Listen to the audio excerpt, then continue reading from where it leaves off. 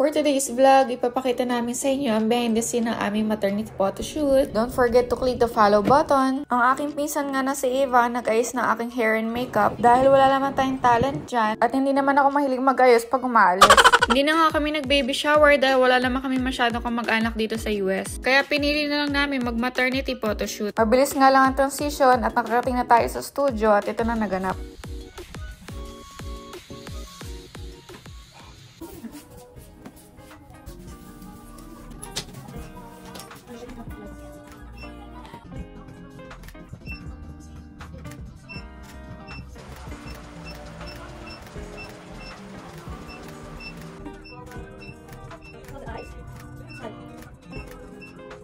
I think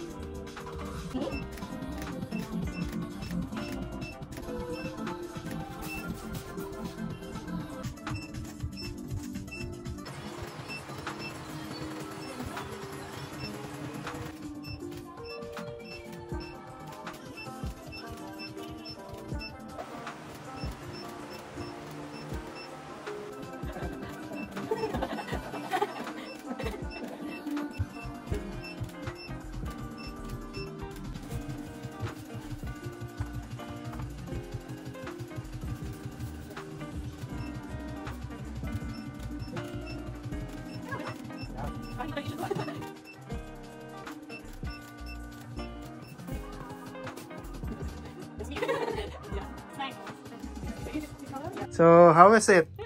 It's a wrap! I'm so excited sa magiging result. Abangan nyo na lang guys. I like it. I very like it.